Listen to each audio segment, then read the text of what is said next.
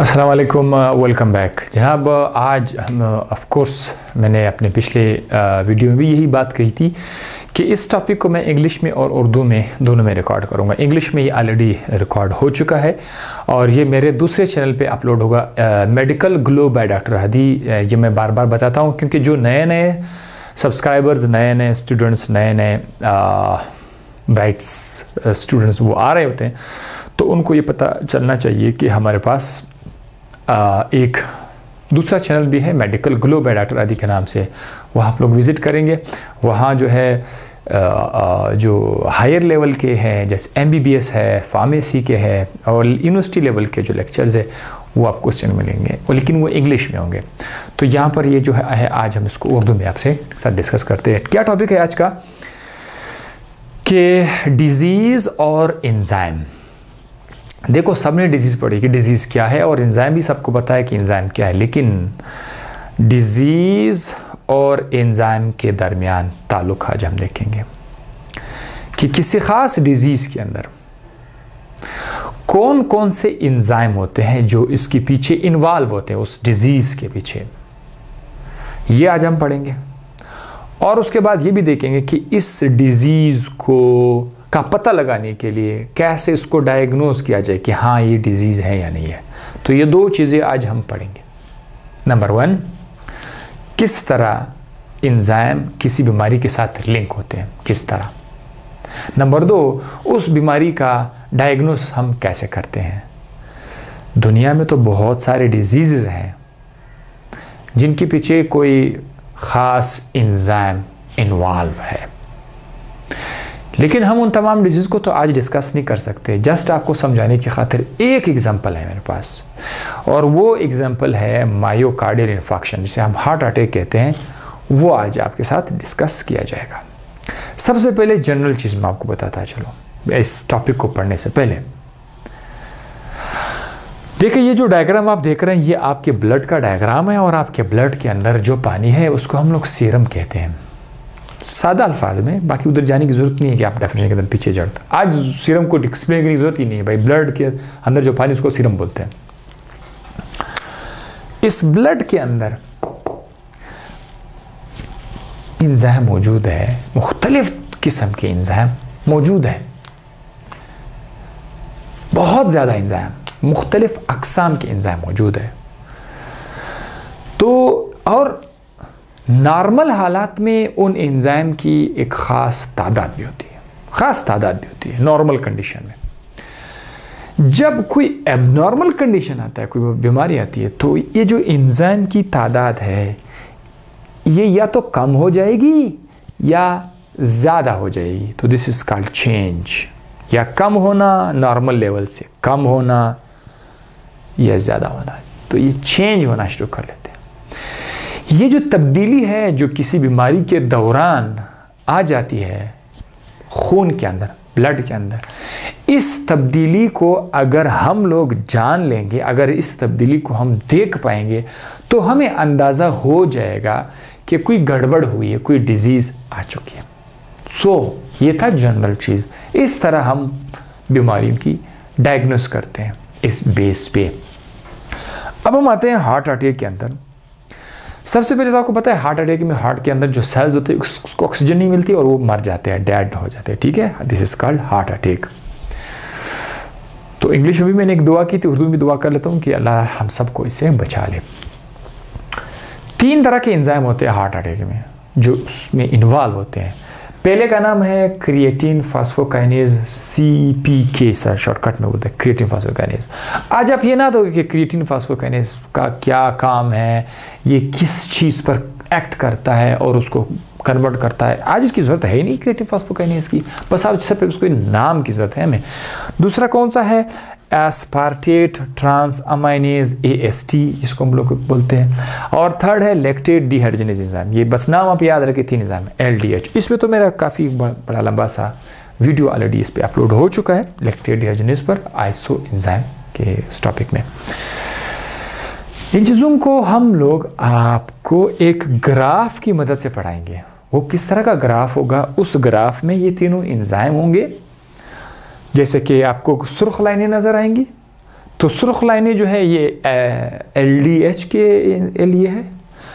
और जो आपको ग्रीन लाइनें नज़र आएँगी, ये वो अस्पार्टेट के लिए जिसको G S G O T बोलते हैं, या ए एस टी शर्ट बोलते हैं। और जो थर्ड ब्लू कलर है, वो आपका सी पी के है क्रिएटिन फास्फोकाइनेज का। ये आज हम लोग देखेंगे। इसके अलावा, बहुत इंपॉर्टेंट चीज़, आपको एक चीज़ पे ज़्यादा ध्यान देना होगा। हर इंजाइम को तीन टाइमिंग हम देते हैं, हर इंजाइम को। एक, कब, किस वक्त, वो बढ़ना शुरू कर लेता है। ठीक है, प्लाज्मा के अंदर है वो, लेकिन वो बढ़ना कब शुरू करता है? हाथ का इशारा देखे, बढ़ना, ऐसे, बढ़ना कब शुरू करते हैं? ये टाइम नंबर इधर आप देखेंगे चार घंटे, पाँच घंटे, आठ घंटे जिस तरह टाइम हुआ। फिर ये बढ़ते बढ़ते बढ़ते बढ़ते बढ़ते एक ख़ास मैक्सिमम पे पहुँच जाता है, जिसके बाद ये मज़ीद ऊपर नहीं जा सकता। इधर भी एक टाइम होगा, एक दस घंटे, आठ घंटे या एक दिन या दो दिन।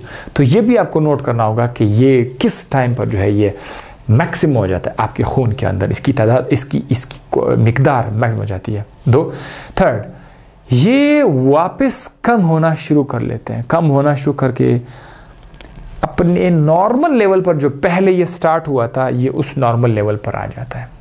तो ये नॉर्मल लेवल पर आने की भी टाइमिंग आपको बताना होगा। सो हर इंजाइम के साथ टोटल तीन इंजाइम है, हर इंजाइम के साथ तीन टाइमिंग्स है। वो आपने नोट करने हैं और आपको सारा समझ आ जाएगा। जी जनाब तो सबसे पहले हम आते हैं क्रिएटिन फास्फोकाइनेस सी पी के की तरफ़। क्रिएटिन फास्फोकाइनेस ये अच्छा ये वो पहला एंजाइम है जो हार्ट अटैक में आपको नज़र आएगा। पहला एंजाइम। कब? जब हार्ट अटैक हो जाएगा तो हार्ट अटैक के छः से आठ घंटे के अंदर, विद छः से आठ घंटे के अंदर अंदर। पाँच घंटे के अंदर भी हो सकता है, सात घंटे के अंदर भी हो सकता है। ये आपके प्लाज्मा के अंदर जो है, इसकी अमाउंट बढ़ना शुरू हो जाएगी increase this is first one अच्छा ये पॉइंट हो गया। ये आपने इधर नोट करना है। छः से आठ within six to eight hours जो है ये आपको आ, बढ़ता हुआ नज़र आएगा। Within six to eight hours ये पॉइंट हो गया। अब ये वाले पॉइंट जो है ना ये मैक्सिमम पॉइंट्स को शो कर रहे हैं ठीक है? तो ये कब मैक्सिमम पे पहुँच जाएगा? अगर आप इस पॉइंट पे गौर करेंगे ना ये वाला पॉइंट इसको अगर नीचे गिरा दे नीचे अगर इसको आप गिरा देना तो ये इधर कहीं पे फॉल करेगा। ये 24 और 42 के दरमियान कहीं पे ये फॉल करेगा। तो इसका मतलब ये है कि 24 और 30 घंटों के अंदर अंदर ये मैक्सिमम हो जाएगा। तो ये आ गया 24 टू 30 हॉर्स ये इंजाइम इस टाइम के बाद आपको कम होता हुआ नज़र आएगा। सो आपके जहन में पहले से होगा कि यार, जो ये इंजाइम है। सी पी के जो इंजाम है, वो 24 से 30 घंटे के अंदर आपको मैक्सिमम नज़र आ जाएगा अदरवाइज़ वो वापस कम होना शुरू हो जाएगा। अच्छा अब आप देख लें, यहाँ से ये लाइन ऊपर के बजाय ऊपर नहीं जा रहा। अब ये नीचे आ रहा है। पहले ये ऊपर जा रहा था। ये लाइन ऊपर जा रहा था। ऊपर का मतलब क्या है कि इंजाम की अमाउंट बढ़ रही है। इंजाम की अमाउंट बढ़ रही है। क्योंकि ऊपर के एंजाइम एक्टिविटी है ज़ीरो यहाँ से आप बढ़ा सकते हैं ठीक है सौ दो सौ चार सौ आठ सौ हज़ार एंड सो वन तो ऊपर जाना इंजाइम की एक्टिविटी बढ़ा रही है। लेकिन जैसे अब अब आप देख अब आप नीचे आएँगे। अब लाइन अब आपका लाइन नीचे की तरफ़ आ नीचे का मतलब ये है कि ये वापस इंजाइम एक्टिविटी कम हो रही है। ठीक है ये नीचे आना शुरू हो गया है लेकिन ये कब? किस टाइम वापस नॉर्मल लेवल पर आ, जाता है जैसे कि ये पहले था। वो टाइमिंग मैंने यहाँ पर नोट किया सेकंड या थर्ड डे तो सेकंड या थर्ड डे जो है ना, वो राउंड अबाउट इधर ही आपको मिलेगा। क्योंकि अगर आप देखें ये अड़तालीस घंटे है, साठ घंटे है, बहत्तर घंटे है, बहत्तर घंटे के बाद आपकी, हम उसको सत्तर अस्सी की तरफ़ नहीं ले जाएगा। हम बोलते हैं कि दूसरी, दूसरा दिन, तीसरा दिन, चौथा दिन। इसीलिए तो यहाँ पर चौथा, पांचवा, छठा जो है, इसके बाद हमने इसको डेज़ में शो किया हुआ है। बहत्तर तक घंटों में आ रहा है, उसके बाद डेज़ में। तो चाहे डे हो या घंटा हो तो है तो टाइम तो तीसरे दिन जो है, वो नॉर्मल आ जाएगा। वापस नॉर्मल हो जाएगा। अब तीसरे दिन के बाद आप एक बेवकूफ़ी नहीं करेंगे। तीसरे दिन के बाद ये वाला जो इंजाइम है क्रिएटिन फास्फोकाइनेज आप उसको मरीज़ के खून में नहीं देखोगे। अगर आप देखोगे तो फ़ायदा ही नहीं है, क्योंकि वो जो इंजाइम वो दूसरे तीसरे दिन के बाद वो नज़र नहीं आता। तो अगर आपको ऐसा मरीज़ हार्ट अटैक का मरीज़ दूसरे या तीसरे दिन आ जाए तो डेफिनेटली आप इस इंजाइम को सर्च नहीं करोगे आपको पता चल गया होगा। सो so, फिर क्या करेंगे? एक और एंजाइम है एस्पार्टे ट्रांस अमाइनेज ये जो एंजाइम है ये आपको भी इसके लिए मैंने तीन टाइमिंग्स लिखे हुए हैं। आठ से नौ घंटे, अड़तालीस दिन, अड़तालीस घंटे और चार से पाँच दिन। ये आपको कब चेंज होना शुरू हो जाएगा? ये आठ से नौ घंटे के अंदर अंदर। आठ, वो कितने था? वो छः से आठ घंटों के अंदर अंदर आपको नज़र आना शुरू हो जाएगा, बढ़ना शुरू हो जाएगा। ये आपको आठ से नौ घंटे, यानी बस इसके फ़ौरन बाद, इस इंजाइम के सी पी के फ़ौरन बाद ये राइज होना शुरू करेगा। ठीक है?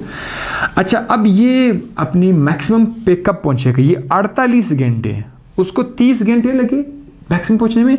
ये थोड़ा सा लेट ये इसको 48 घंटे लगेंगे कि ये रीजन तो 48 घंटे जो है, वो यहाँ पर, ये वाला जो पॉइंट है ना, ये यहाँ पर, ये ये जो 48 है, अगर आप इस 48 को ऊपर लेके जाओगे ना तो ये डॉट बिल्कुल 48 के ऊपर आ रहा है।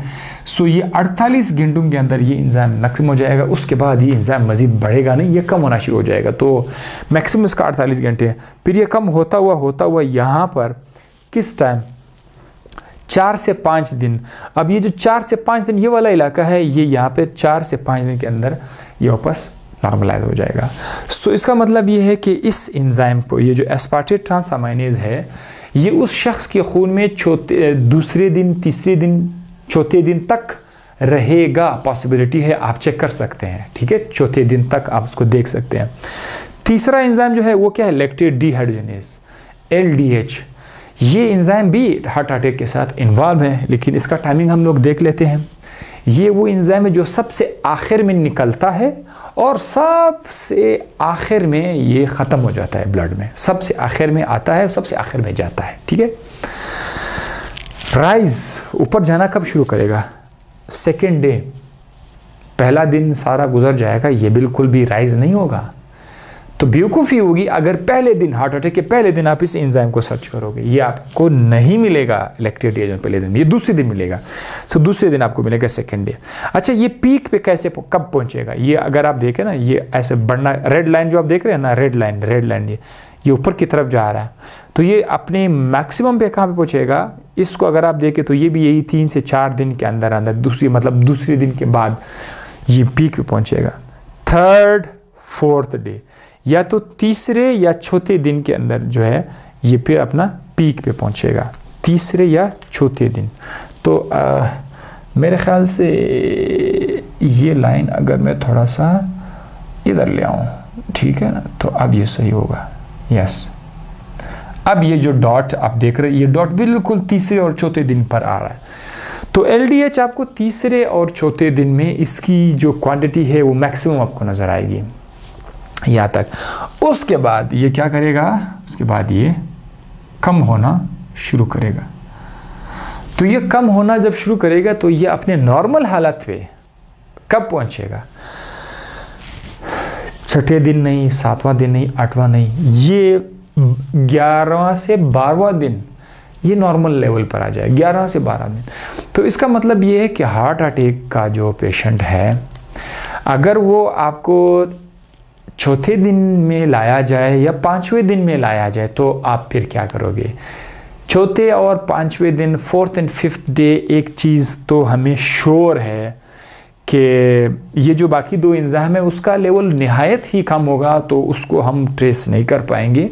मे भी थोड़ी बहुत हो। लेकिन हम फिर किस इंजाम की तरफ़ जाएँगे? हम एलडीएच की तरफ़ जाएँगे। तो ये तरीक़ाकार है कि जब हो जाता है किसी को हॉस्पिटल आके तो हम उसको ये वाले इंजाम उसके खून से उठाते हैं, उसका खून का सैंपल लेते हैं और फिर उसको मशीन की मदद से चेक करते हैं कि उसके खून में ये इंजाम की अमाउंट कितनी है और ये कितना चेंज हुआ है। उसी तरीके से हम डायग्नोस कर पाते हैं कि आया, इस शख्स को हार्ट अटैक हुआ या नहीं हुआ है। तो एक और चीज़ भी याद रखिएगा कभी कभी हम सिर्फ़ एक इंजाम की तरफ़ जाते हैं तो प्रॉपर डायग्नोसिस के लिए आप एक से ज़्यादा इंजाम की तरफ़ जाएँगे। क्योंकि यहाँ पर जो आपको एस्पार्टेट ट्रांसामिनेज नज़र आ रहा है, सिर्फ़ इस एक इंजाइम को आप डायग्नोस का स्टैंडर्ड करार नहीं दे सकते, क्योंकि ये जो एस्पार्टेट ट्रांस अमाइनेज है, ये किसी और डिज़ीज़ में भी ये बढ़ सकता है। ठीक है?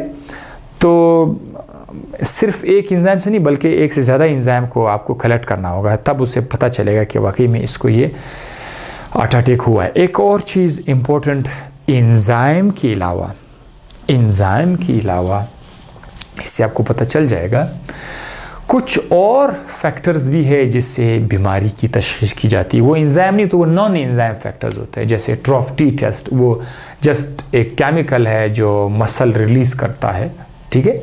ट्रॉफ्टी तो फिर उसकी तरफ़ भी हम जाते हैं। लिहाजा डायग्नोसिस के लिए हम इंजाम को भी देख लेते हैं। फिर उसका और केमिकल टेस्ट भी करते हैं, जो इंजाम पे बेस नहीं है, ऐसे ट्रॉप्टी तो इन सब का नतीजे से हम फिर अपने आप को एक कंक्लूजन पे ले जाते हैं कि यार, अब ये डिज़ीज़ हो सकती है कि नहीं हो सकती है। तो जनाब, ये था एक बड़ा सा प्यारा सा टॉपिक जो कि यूनिवर्सिटी लेवल का था। मे भी अब मुझे एफएससी के स्टूडेंट्स भी देख रहे हों, मुझे कुछ जूनियर्स भी देख रहे हों।